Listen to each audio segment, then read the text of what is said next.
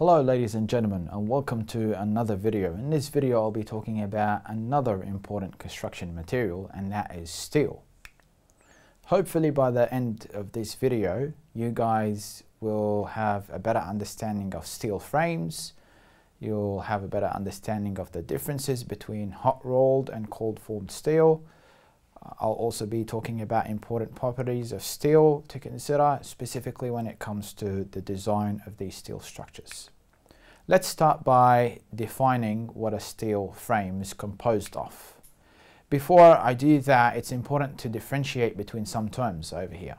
So the terms that I'm referring to are the structure, the member, the section, and the element. What's the difference? Okay, if you're looking at the overall building, that would be your overall structure. If I'm just going to be considering one uh, beam, say for example, that is my member. So one component of the structure is your member, that's what we refer to as a member. And then if I have a look at one of the sections, and you can see that in the image in front of you, for instance, that beam, if I sort of rotate it, or if I cut it in half and I have a look in the middle, then I can see this I-beam that you see in front of you on the screen. And that is composed of various elements that sort of combine together to give the overall uh, member. So your typical steel frame is composed of four main members. Number one, your beams, your columns, the bracing, and the truss or a system of trusses in some instances. The beam and column, we all understand what they are, and you can see that in the image in front of you. The bracing is essential because uh, you need it to resist horizontal loads, for instance, wind loads, and uh, earthquakes. Uh, a truss system, again, it's one of these systems that are embedded, and you can see that in the image in front of you, usually for the roof, roofing structure of a particular building. Uh, and a truss is a very efficient system in terms of allowing only uh, two kind of forces uh, to be handled, and that is compression and tension. So there's no sort of bending or twisting uh, that would be imposed upon a truss system. And so in terms of cost, it's very effective to use truss systems uh, in certain structures. Now the construction itself of a steel structure, it involves the combination of several members together. The way we link these members together, uh, we can do it in two ways. So number one, through the use of bolts and nuts, as you can see in the first uh, image on the left hand side and then the image on the right hand side is where you have some sort of welding that combines these two elements, the column and the beam together. Now that we have an understanding of what a typical steel frame is composed of, let's have a look at the specific materials that are utilized. The first material that I want to go through in this video is the hot rolled steel. In terms of the production process of hot rolled steel, the process itself involves rolling the steel at a very high temperature. We're talking about temperatures that exceed 1000 degrees Celsius. Now at these temperatures, the steel is above its recrystallization temperature and when it's above that recrystallization temperature, it's easy to shape and mold into uh, various sections of different sizes. In terms of the sections that are available for you to utilize in a typical steel frame structure, these are the sections that you see in front of you. So you have your equal angles, your unequal angles, your square bars, uh, your round bars. You have the plate, and the plate is often used, for example, uh, as a wall. Uh, you can also uh, get your tapered flange beams and your universal beams, which are very uh, commonly used. And then you have your universal column and your parallel flange channels. So that was for hot rolled steel. There's another type of steel that's commonly used in construction, and that is cold formed steel. So in cold formed steel, we're talking about a process that involves rolling and pressing uh, of steel sheets that takes place at room temperature. So notice when we talked about hot rolled steel, it was temperatures that exceeded 1000 degrees Celsius, whereas for cold formed steel, it's usually room temperatures where this process of rolling and, and pressing takes place. Uh, in terms of the final product, uh, usually your purlins uh, that are commonly used inside walls, uh, so for wall frames and for roof structures, these are the common outputs that are formed from cold formed steel so there's two sections that are very uh, very well utilized in the industry, and that is your C section and your Z section, and you can see a profile of them uh, in the image in front of you. As I said, uh, mostly these are adopted either as wall studs or uh, in the roof structure. So the image on the uh, right hand side, you can see your rafters, and on top of the rafters, these purlins, they sit, and you can have the purlins, they can come in either the Z uh, section or the C section. Now to join these purlins to the rafter, uh, you have to uh, use what is referred to as a cleat, uh, and that's usually welded onto the I-beam, and then that I-beam, which is a rafter, would hold the purlins uh, above it. And then on top of the purlins, would, you would have your COLORBOND. In terms of applications, various applications for the cold formed steel, so you can uh, utilize it in commercial buildings, so in warehouses, for instance. Uh, you can also have some, some uh, residential uh, houses or duplexes that are constructed from purlins. When I say constructed, I'm referring to the actual framing of the wall, for instance, or even the roof. Uh, and you see that in the image on the right hand side of the screen. Let's have a look at the differences between hot rolled and cold formed steel.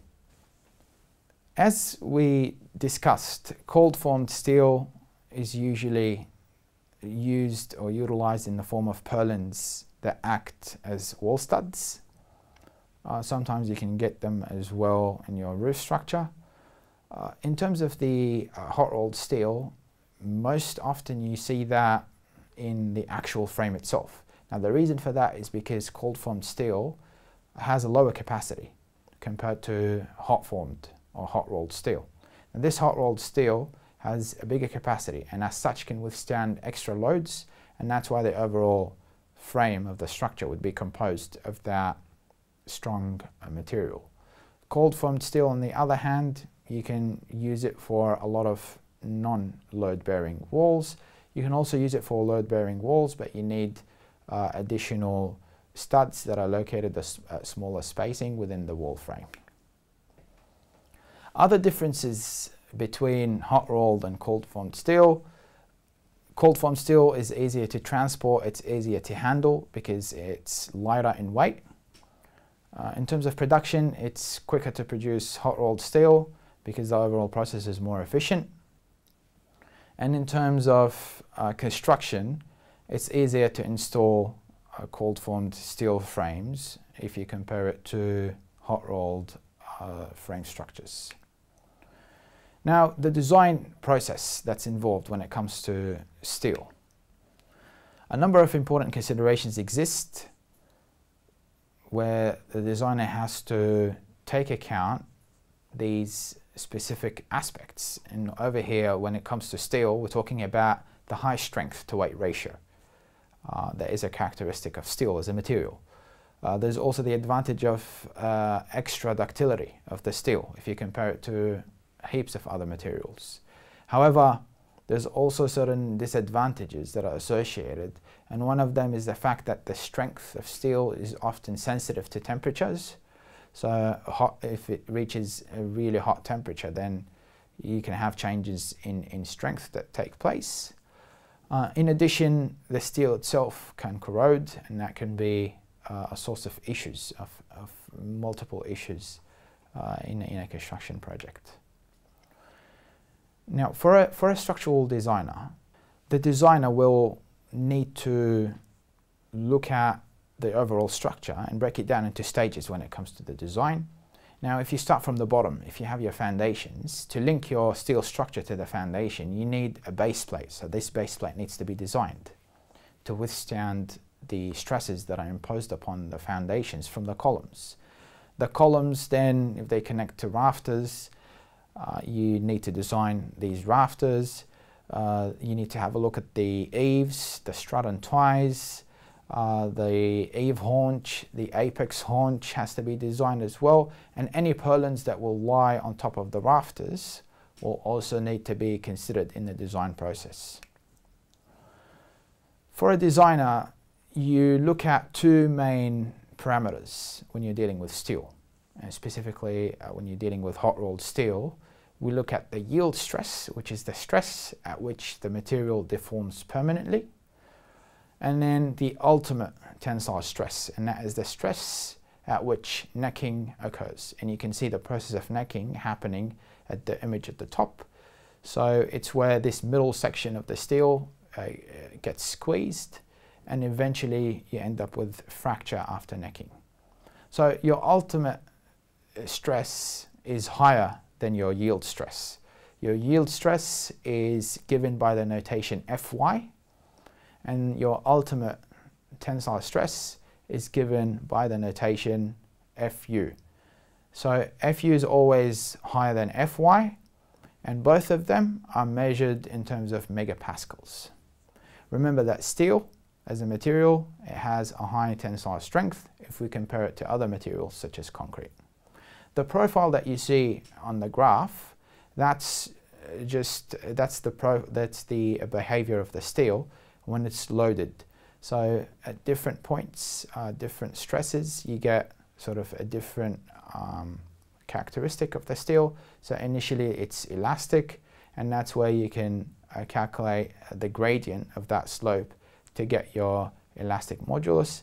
And then after the yield stress, uh, the stresses uh, sort of, as you increase uh, the stresses and the strains, you eventually end up with, uh, you eventually end up reaching a FU, and then that's when necking happens, and after necking, you get the fracturing of the steel taking place. So to make sure that necking doesn't happen in a steel structure, there's a specific process that a structural designer has to follow. And that process is outlined in the Australian standards. It's AS 41000 that I'm referring to. So initially the process starts with considering the load combination. So you're, as a structural designer, you have to consider dead loads and live loads on the structure. And then once you factor in all these factors associated with the dead load and the live load, you design for that load combination and you have to analyze the structure uh, based on that load combination and then you extract your design effects. So your design action effects are extracted and mostly we're looking at the axial forces when it comes to steel structures. So the forces that take place longitudinal in a member. So suppose you had a beam. So any force longitudinal in the beam uh, whether it's in uh, compression and tension, that's uh, part of the axial force. Uh, you'd also consider shear, so shear that takes place in the, uh, in the steel member, and also you have the bending of the steel member. So you have to do that for your columns and you have to do that for your beams, this process.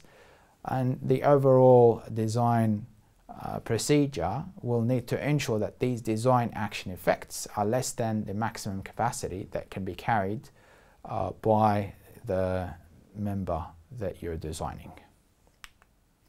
That was it for uh, this video. I do hope that it helped clarify some of the uh, aspects associated with steel as a construction material. If you do enjoy this video, please don't forget to check out my other videos where I talk about heaps of other construction materials.